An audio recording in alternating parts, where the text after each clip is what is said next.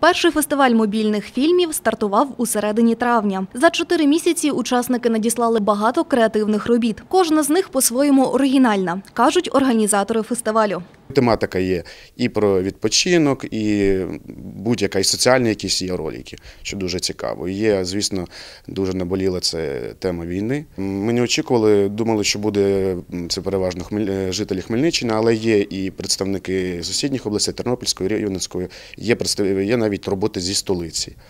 Є якісь більш професійні, є абсолютно аматорські, такі сімейні, але їх дуже цікаво дивитися, бо вони унікальні, самобутні. До участі у конкурсі приймаються стрічки будь-якої тематики. До того ж, спробувати свої сили можуть як діти, так і дорослі. Єдине обмеження відео повинне бути не довше трьох хвилин.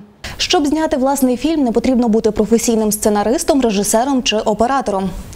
Усе, що потрібно, ідея, натхнення та будь-який пристрій для відеозйомки. Це може бути фотоапарат, планшет, екшн-камера чи звичайний мобільний телефон.